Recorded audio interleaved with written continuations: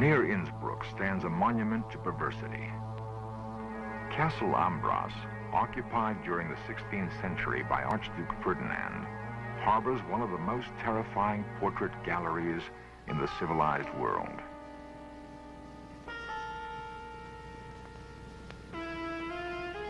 Painted from life, these grotesqueries reflect the offbeat tastes of the collector. In this gallery of the bizarre are images of those maimed in battle or deformed by nature.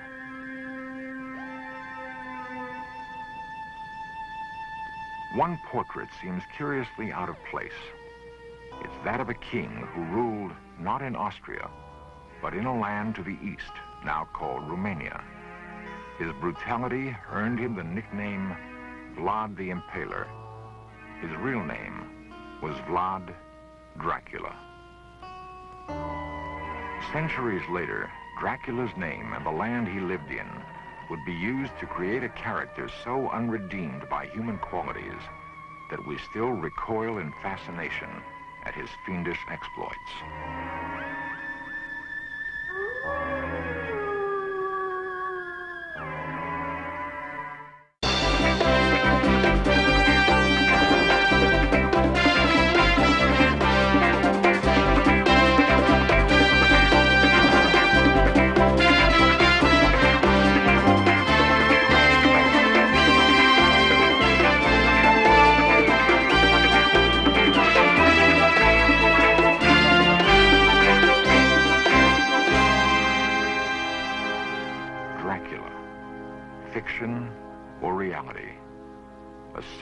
The truth behind the legend.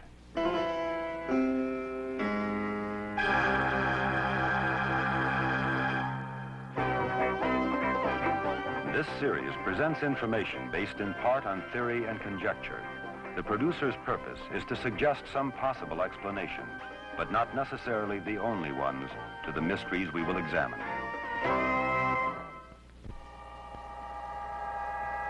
Horror has a special fascination for many and filmmakers have done their best to exploit that fascination. Audiences have come to know Dracula well. They've seen him portrayed on the screen for more than 50 years. There's the black cape, the jutting canine teeth, the demonic eyes and nocturnal lust for blood. But what of the truth behind the legend?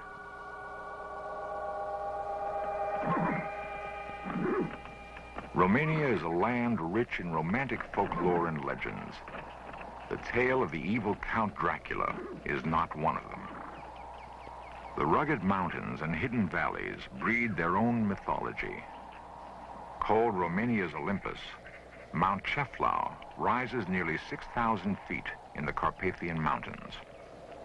In pre-Christian times, it was believed to be the home of the gods. Each year, even now, on the first Sunday of August, a pagan ritual is reenacted.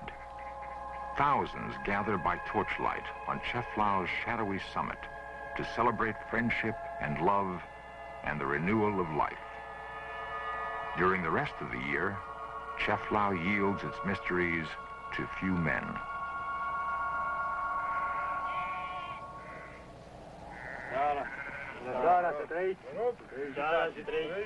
Dr. George Yakomi is a surgeon who climbs mainly for adventure. The other, a shepherd, who has spent a lifetime in these alpine meadows. Both know the mountain and its hidden places. Both respect its awesome symbolic power. Though one is a simple peasant, the other a man of science, the mountain has given them a strong bond of friendship. They exchange stories of ancient superstitions of dark, frightening corners where no one has yet ventured.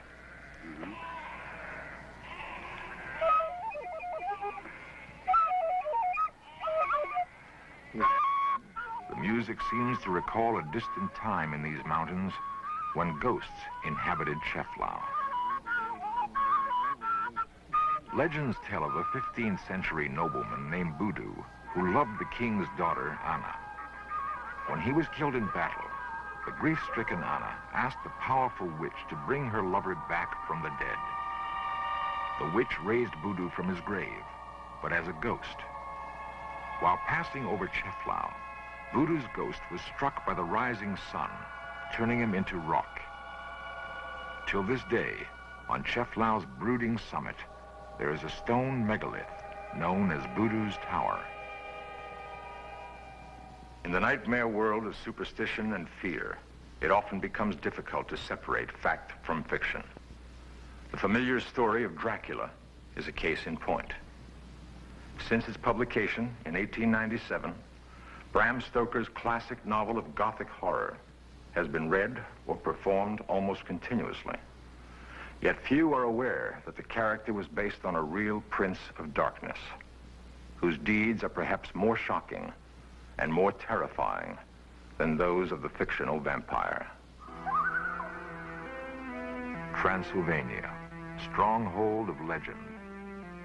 A place dimly recalled from horror movies as a dark, forbidding region cloaked in superstition and terror. Here, according to popular myth, live the undead, the dreaded vampires who thrive on human blood.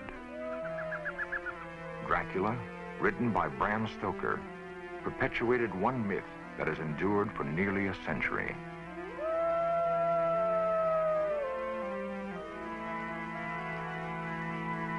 Along Transylvania's southern perimeter stands Castle Bran. In appearance, it corresponds to the castle described in the novel as the home of the bloodthirsty count. Haunted by his own childhood visions of threatening forests and spooky castles, Bram Stoker created an eerie world that became more than just a horrifying journey into the supernatural. It was also a parable of Victorian repression. Locked inside Castle Dracula's dark walls were hidden passions and secret longings, which erupted into violence and terror. The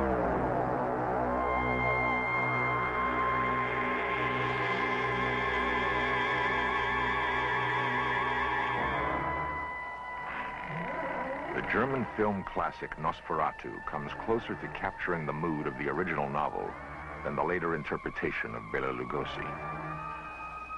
In the book, the hero Jonathan Harker describes his first encounter with Dracula. Holding out his hand, he grasped mine with a strength which made me wince, an effect which was not lessened by the fact that it seemed as cold as ice. Taking Transylvania, a remote place he'd heard of but never seen, as his setting, Stoker evoked chilling images of the living dead.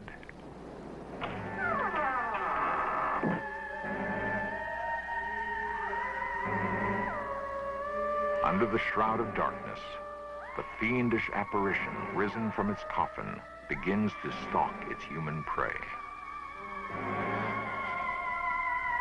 The nightmare becomes reality. The unknown clutches at our throats.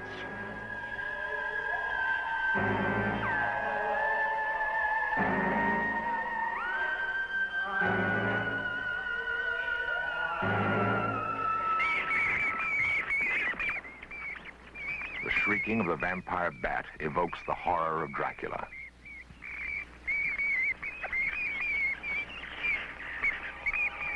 Night-flying hunters, they prey mainly on cattle. But one strange fact stands out. The vampire bat is found only in Mexico and South America.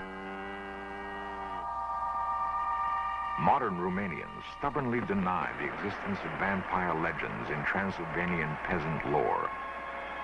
To them, Dracula is the name of a 15th century tyrant whose story, too, was written in blood.